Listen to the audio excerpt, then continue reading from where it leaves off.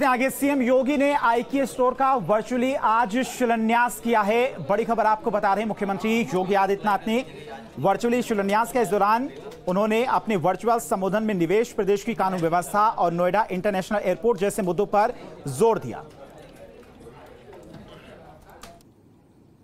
उत्तर प्रदेश के अंदर बेहतरीन कानून व्यवस्था की स्थिति ने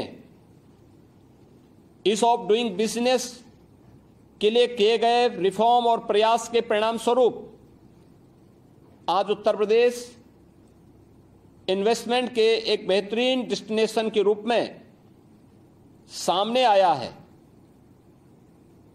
इसने उत्तर प्रदेश के अंदर अनएम्प्लॉयमेंट के रेट को भी कम करने में काफ़ी मदद की है। गौतम बुद्ध नगर जनपद, भारत के अंदर अपने बेहतरीन इंफ्रास्ट्रक्चर के लिए आज जाना जा रहा है। नोएडा इंटरनेशनल एयरपोर्ट, एक बेहतरीन सुविधाओं से युक्त होकर के भारत के अंदर अनेक सुविधाओं से वहाँ के निवेशकों को एक नई सुविधा उपलब्ध कराने के लिए तैयार है। यह क्षेत्र लॉजिस्टिक की दृष्टि से भी अत्यंत महत्वपूर्ण है।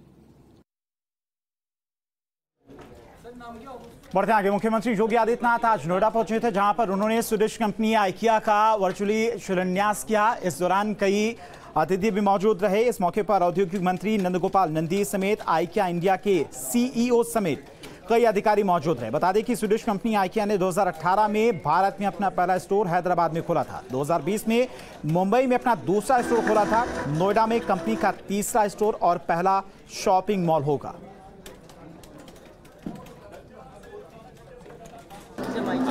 पिछले साढ़े सात सालों में उत्तर प्रदेश ने ऐसे छलांग लगाई। आदरणीय प्रधानमंत्री जी का मार्गदर्शन और माननीय मुख्यमंत्री जी का नेतृत्व। आज के दिन आइकिया जैसी कंपनी लगभग 600 फीट ऊँची बिल्डिंग बनेगी तो मेट्रो स्टेशन है उसको जोड़ने का काम करेंगे अभी फुट ओवर ब्रिजेस से जो जा रहे हैं तो शॉपिंग मॉल के अंदर से जाएँगे एयर कंडीशन में। तो निश्चित रूप से उत्तर प्रदेश ने ठीक है ठीक है ठीक है ठीक है। कानून व्यवस्था उत्तर उत्तर प्रदेश में इंफ्रास्ट्रक्चर इस पर काम हुआ है बढ़ते आगे ओलंपिक काउंसिल